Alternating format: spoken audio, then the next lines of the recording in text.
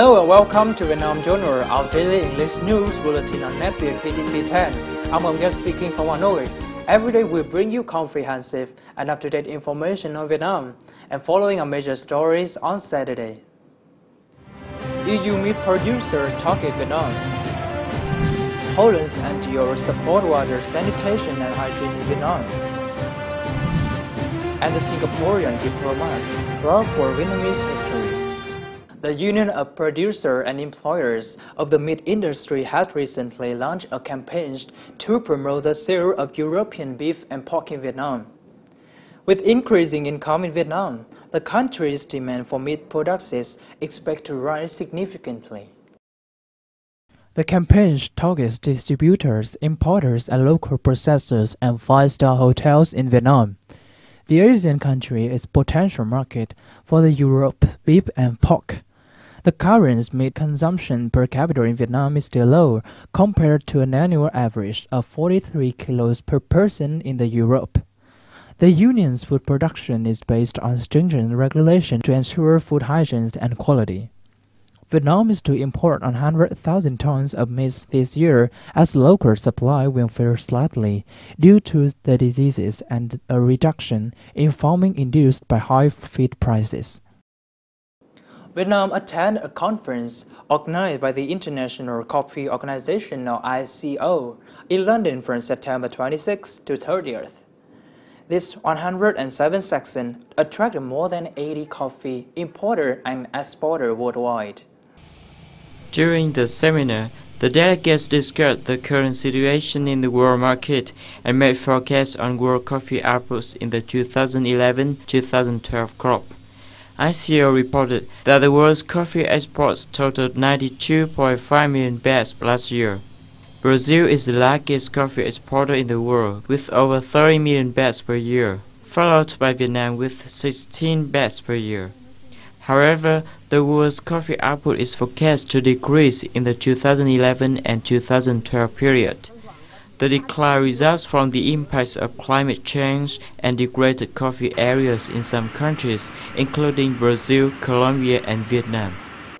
And following is some other business news in brief. The Joint Stock Commercial Bank for Foreign Trade of Vietnam, or Vietcombank, decided to sell a 15 stake to Japan's Mizuho Financial Group Inc. on Friday, September 30. Mizuho is the first and also the only foreign strategic partner of Vietcombank. Vietcombank is the biggest lender listed on Vietnam's stock market. Vietnam's coastal province of Khánh Hòa has recently approved a tourism and urban zone project invested by local Vinpearl company. The project covers 1,497 hectares of land. Earlier, the province had allowed another local real estate firm to carry out a resort project.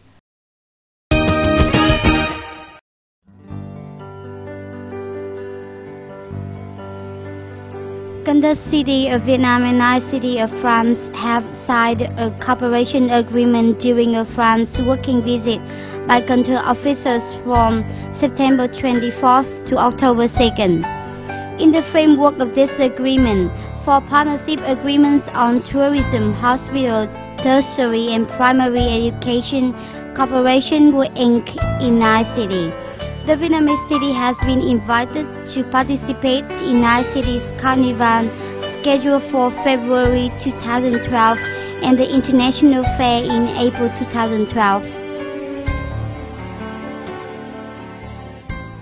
Environmental protection is always important to sustainable development. In Vietnam, there are many projects implemented by international non-government organizations to help local people preserve the ecological system. VTC 10 had a conversation with Rita Top Jackson, country director of Holland-based SNV, about the projects of water sanitation and hygiene in Vietnam. Hello, Mr. Tom Jackson, and welcome to NetViet Channel VTC 10. Uh, could you give us a brief introduction of the project Water Sanitation and Hygiene implemented in Vietnam? We mostly work on uh, awareness generation, demand creation actually for sanitation with uh, ethnic communities, the Hmong or the Thai and others. Um, they have a very different sort of sense of cleanliness and hygiene, and this is why, till this time, generally, they don't see much point in basically building toilets. So we use an approach that's called um, community-led total sanitation, in which you sort of shock people into awareness, saying, "Oh, really? I'm shamed that what I am eating actually is contaminated." Yes, and actually we show people that actually, and that helps to change their behavior. Um, we do not only do that, we then also look at the supply side because we think the market should provide different uh, uh, technologies for uh, um, people to choose from for their toilets, yeah, different Mm-hmm. designs. I know this is a funny topic, but it's, it's so important. Sanitation is at the heart of health uh, in, uh, in, in, in any country and also in Vietnam. So, um, and at the same time, we look with the government at the role of subsidy. How can that role of subsidy be more targeted so that uh, people um, and all our programs are more successful than they were in the past? Um, and we're very happy we have piloted this approach. We're doing that now in four uh, uh, provinces in Dien Bien, in Lao Cai, and Lai Chau, and we're starting up in Nghệ An. And um, the results are really, really very encouraging.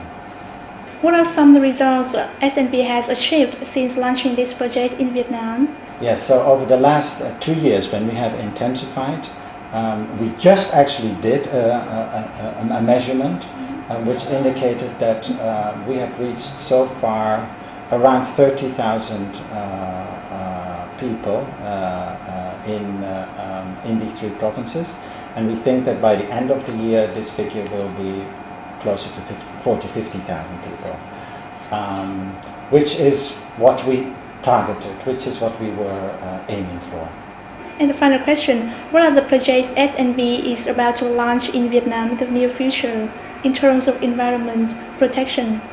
Yes, well, in terms of water and sanitation, we want to help upscale this successful approach to other areas together with the government. So we would hope to launch this in another 10 provinces in the coming two, three years. Um, in terms of other environmental programs, you know that uh, in the past, in, uh, as Vietnam moved from a plant economy to a market economy, there's been a lot of emphasis initially on just growth, on quantitative production numbers. Now I think everybody realizes that sustainable growth is important. So I think um, what we want to help is launch programs that help to support sustainable, environmentally sustainable production um, of food and vegetables and also aquaculture. And so work with businesses to help make the, their production process more sustainable. At the same time, we're looking at climate change uh, uh, adaptation programs because the effects of climate change are there. And so um, we would like to work with uh, uh, communities, businesses and government to find new solutions for the current uh, challenge of climate change in Vietnam. Okay, thank you again for taking this interview with us. Vietnam Journal, a surprise Frasmos proposals posted on YouTube on September 24 has attracted a lot of viewers around the world. This flash mob was made by a Vietnamese American young man who wanted to give his girlfriend an ultimate surprise. This clip has attracted nearly 500,000 reviews and 2,000 comments on YouTube. The video gained a lot of compliments and support from viewers. This surprising flash mob has become one of the five breaking news of KTLA, an international TV channel of Los Angeles. This couple has also been invited to the live talk of CNN American Morning. Chang and Nam are Vietnamese Americans living in Los Angeles. They are both students of the University of California, Los Angeles.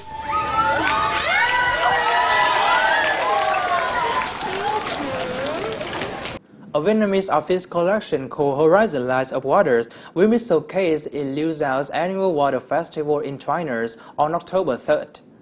The collection is designed by Minh Hạnh, a Vietnamese renowned fashion designer. Horizon Lights Water collection contains 30 outfits with the aim of raising awareness of the environment and national traditional values. Outfits of the collection are made from traditional materials such as silk, brocade, and handmade embroidery, which are meant to convey the pure beauty of water. This year festival will gather nine designers from Asian countries. Each collection requires a combination of traditional and modern beauty. The show will feature catwalk performances of China's leading models along with some others from the United States and Europe. The Australian Embassy in Hanoi has started accepting applications for 2011 to 2012 Direct Aid Program or DAP projects in northern Vietnam. The deadline of application is October 20th. DAP provides grants for small-scale projects aimed at enhancing development outcomes in Vietnam disadvantaged communities. DAP funding is available to individuals, community groups, NGOs and other non-profit organizations.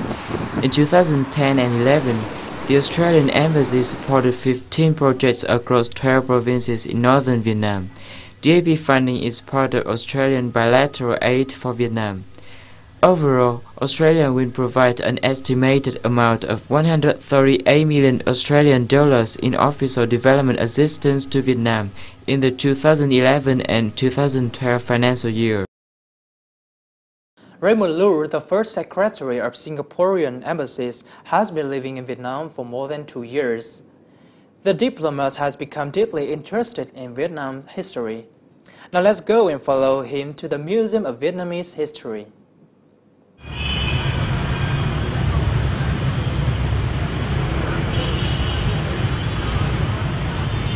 Raymond set aside some time from his busy schedule to visit the Museum of Vietnamese History. There were so many sections showing different periods in Vietnamese long history that he did not know where to begin with.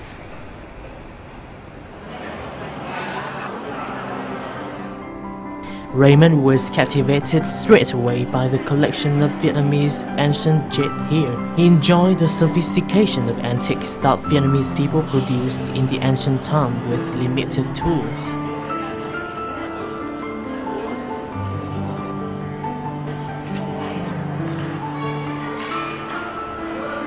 Raymonds were also surprised at the variety of bronze objects made in Vietnam in the old days.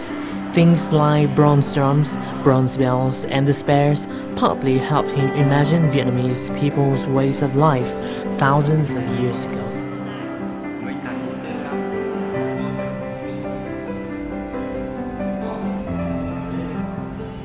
Um, I think we are, we are very similar in many ways. We have a similar culture uh, and similar hospitality, friendly.